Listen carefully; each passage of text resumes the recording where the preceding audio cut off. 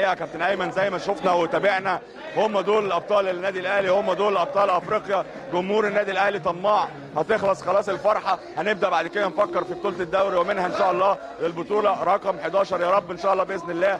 يستمر النادي الاهلي فرحته الكبيرة. شغل كبير جدا بوزن مجلس الإدارة ال- ال- الكابتن سيد عبد الحفيظ الجهاز الفني كل اللعيبة. يا رب إن شاء الله ما يحرمنا من الفرحة الكبيرة جدا اللي إحنا بنشوفها مع فريق النادي الاهلي. قبل ما أختم معاك كابتن أيمن المزيان المزيان بدر بنون السلطان زي ما بيلقب مبروك يا بدر. دورك كبير وفرحة كبيرة والحقيقة الكل بيشتغل والكل على قلب رجل واحد. ألف مبروك لك البطولة. حابب تقولي للعيبة الرجالة وعلى الجمهور النادي الأهلي؟ اولا مبروك الجمهور النادي الأهلي مبروك لكل الشعب المصري وبرضه الشعب المغربي مبروك عليهم اللقب ده. الحمد لله اللعيبة كانوا رجاله الحمد لله.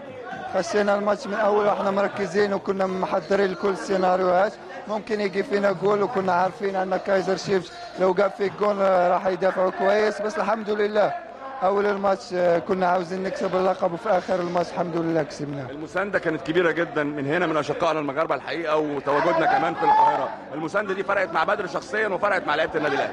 أيوه طبعا طبعا. ما هو الشعب المغربي معروف عليه آه، شعب مضياف وبيرحب بكل الشعوب الشقيقة زي الشعب المصري.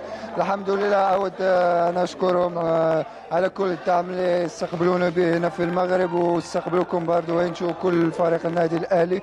الحمد لله ده ده شيء مش غريب على الشعب المغربي الحمد لله. جابوها الأولاد؟ الحمد لله. جبناه مبروك عليك مبروك يا بدر ومبروك لكل.